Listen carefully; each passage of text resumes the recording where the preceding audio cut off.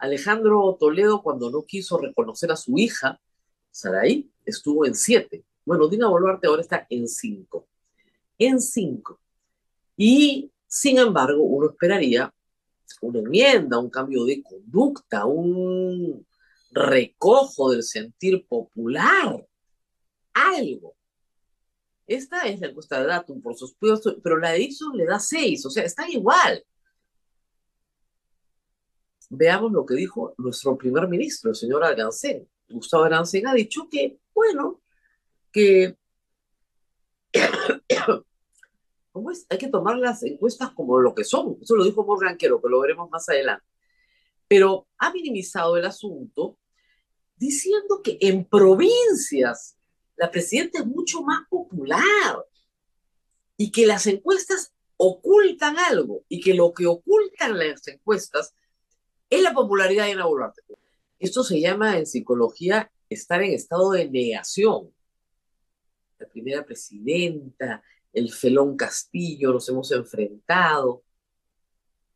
Dijo que si la presidenta iba a provincia iba a ser mucho más popular, mucho más popular.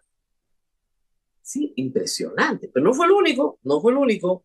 Tenemos, por favor, la siguiente, la señora María del Carmen Alba, ha dicho que sí, pues, que no le gusta el gobierno, ¿no? Pero que como ya no resiste otra vacancia y solo le quedan dos añitos, mejor que se quede, ¿no?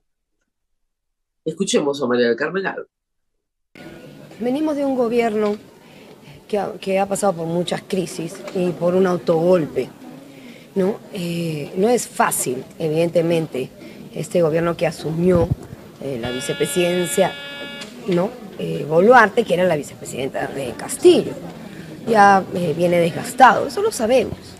Pero ¿hasta cuándo vamos a estar en cambios permanentes? Eh, yo lo he dicho, no es la primera vez, eh, siempre estoy en contacto con senadores, diputados, los embajadores, gente de afuera, y cómo nos ven.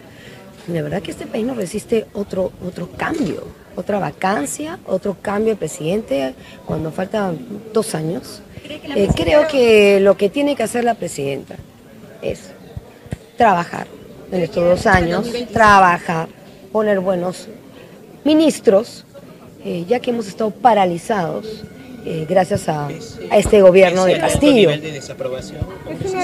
Mira, tuvimos desaprobaciones, Omar, eh, y han salido ahí la lista de todos los presidentes el recuerdo con Toledo, el recuerdo con Mala, eh, todo el tiempo. Eso es normal. Este claro, pero vamos a estar cambiando. ¿Y qué va a venir? ¿Qué va a venir si hacemos elecciones ahorita? Esto es normal. No, no es normal. Dina Boluarte es la presidenta más impopular de toda América Latina.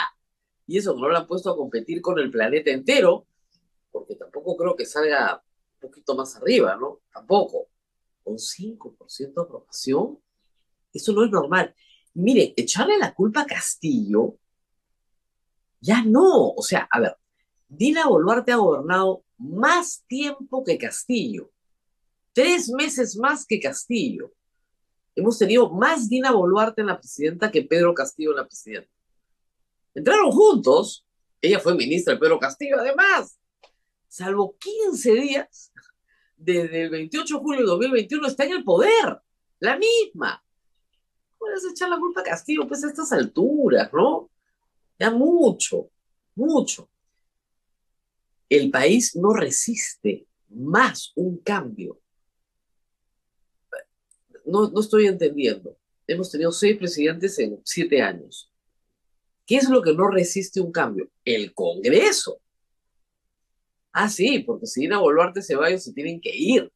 Y estos dos añitos, pucha, cómo los han peleado, ¿no? Para tenerlos. Recién van a cumplir tres el 28 de julio. ¿Y cómo se van a quedar sin los dos añitos que faltan? No les importa tener el Congreso, el porcentaje de desaprobación, que está casi empatado con Dina Boluarte. Tienen siete o seis según algunas encuestas. Dina Boluarte tiene cinco o seis según algunas encuestas no les importa.